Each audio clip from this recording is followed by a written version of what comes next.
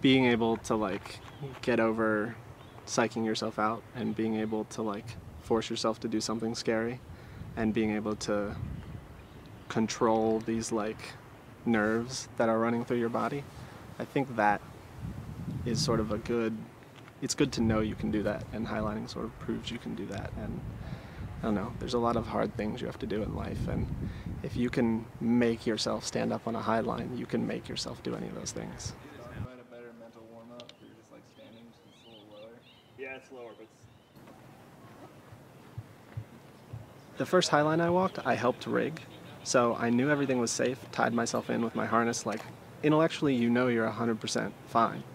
But there's some, like, deep part of your brain which disagrees and objects. And so your body starts having this, like, physical panic attack, even though your mind is trying to calm it down and reassure yourself that you're okay. And you just kind of gotta power through it.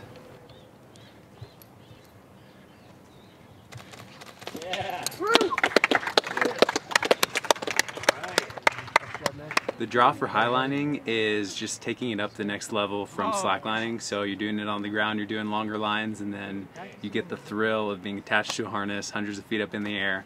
And from my first experience, there's not much that compares to that. It's got some sway to it, but it's like comfy sway. There we go. I think people deal with it differently. Um, yeah, I mean, I'm pretty nervous. And then sometimes I'm like, why did I even come out here? like, but then when I do do it, it's I'm so excited and so happy that I did. But getting to that point takes a long time.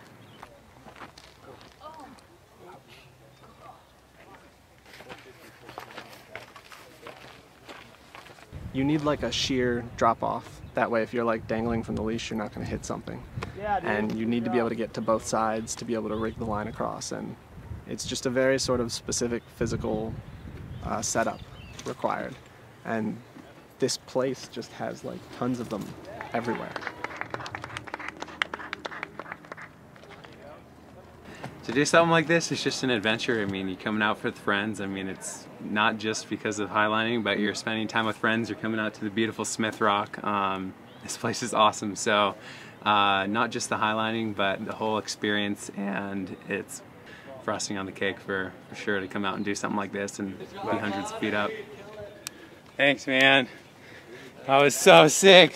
Nice job, man. I was so sick.